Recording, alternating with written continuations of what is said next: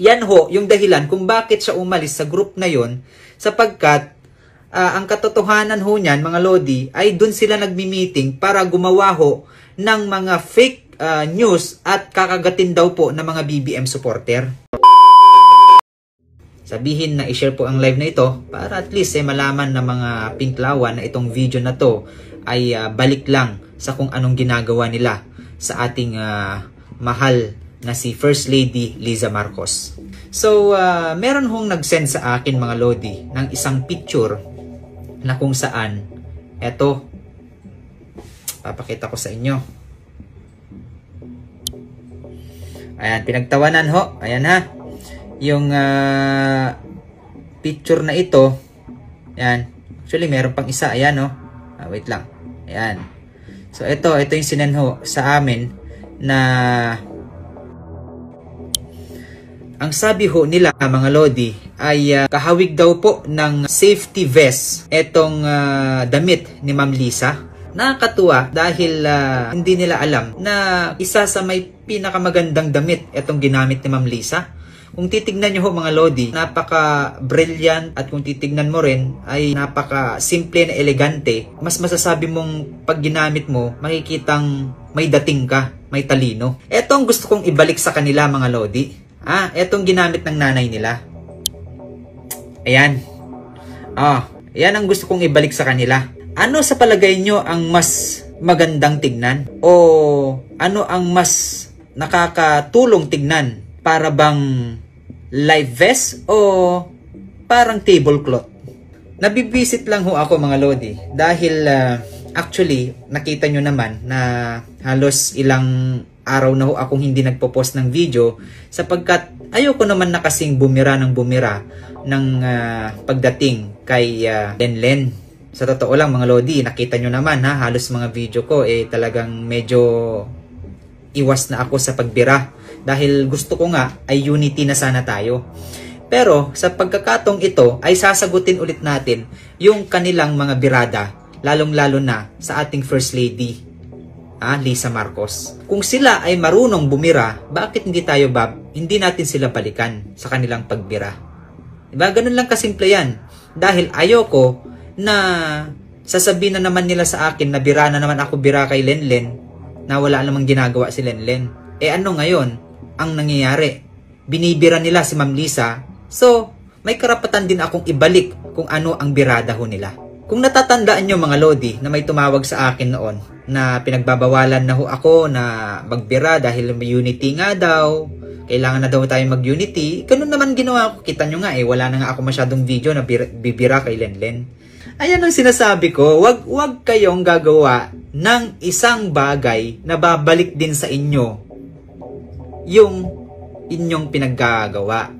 Actually, mga Lodi, ako ay tatahimik na sana. Ako ay, ah, ah, kumbaga, gagawa na lang ng video ng katuwaan o gagawa na lang ng mga prank video. Kaso, pag ganito naman pala yung mga kalaban nyo, ay imbis na tatahimik ka, eh hindi ka na matatahimik sapagkat syempre kailangan mong ipagtanggol ang ating pinakamamahal na presidente at yung kanyang asawa, syempre pati si Ma'am Sara. May nagsasabi ho kasi rito na eto, may pinasa rin sa aking video mga Lodi. Siguro napanood nyo na ito, itong video na ito, na gusto ko lang din sagutin.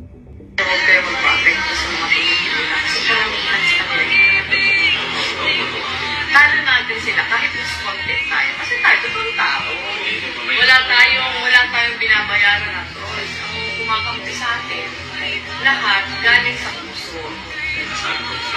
Alright. Ano daw, mga Lods? Ano daw? Ang sabi niya, wag daw sila wag daw ta, wag daw silang magpapaapekto sa mga paninira kasi yung iba daw sa atin ay hindi totoong tao. Ha? 31.5 million ang bumoto kay BBM tapos yung iba daw hindi daw totoong tao. Ano 'yun? Alien? Robot? Anak ng toko naman, Madam Lenlen. Oo. Ha? Sa palagay mo, wala naman eh, may, may freedom ka na sabihin yan, pero gusto lang din namin sagutin. Yung opinion din namin, gusto lang din namin sagutin yung, yung sinasabi. Ibig sabihin pala, yung ibang BBM supporter ay hindi totoong tao. Oh, tapos, isa pang sinasabi niya, wala daw silang binabayaran na trolls. O talaga ba? Wala kayong binabayaran na trolls? Yung katotohanan lang, Madam Lenlen. Eh, kung tutuusin nga, mas maraming ang troll eh, dyan sa mga sumusuporta sa'yo.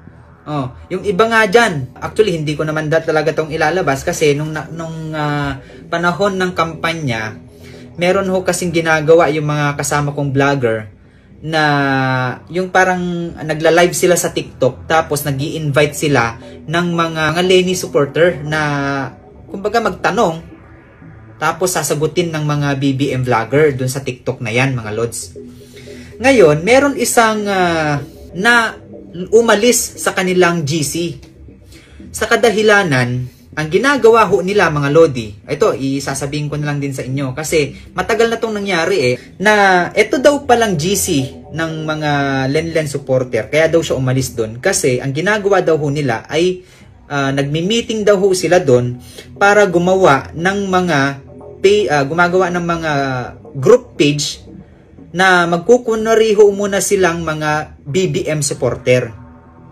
Tapos, ang gagawin ho nila, gagawa ho sila ng mga fake news na mga post na dapat ay kagatin ng mga BBM supporter. Ito ay hindi naman sa akin to dahil ito ay sinabi ho ng dating Lenlen supporter. Ang gagawin ho nila, ire-report ho nila yung mga yung gino yung kumbaga yung ginawa ho nilang post na fake news ho yun. At lahat ng mga nag-share ho doon sa mga sa fake news na ginawa ho ng uh, Lenlen supporter ay for sure mabablock ka ng Facebook. Yan ho yung dahilan kung bakit siya umalis sa group na yon sapagkat uh, ang katotohanan ho niyan mga lodi ay doon sila nagmi-meeting para gumawa ho ng mga fake uh, news at kakagatin daw po ng mga BBM supporter. Oh. So, yung sinasabi kanina ni Madam Lenlen na wala daw ho silang binabayaran ng mga trolls dahil ang naniniwala daw sa kanila ay mga totoong tao, naniniwala daw sa kanila.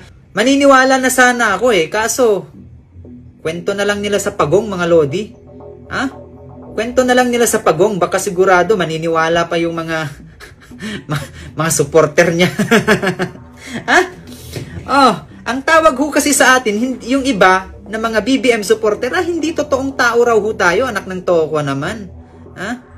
So, ibig sabihin pala, yung mga ibang bumoto kay BBM, mga alien, mga robot, ganon. Oh.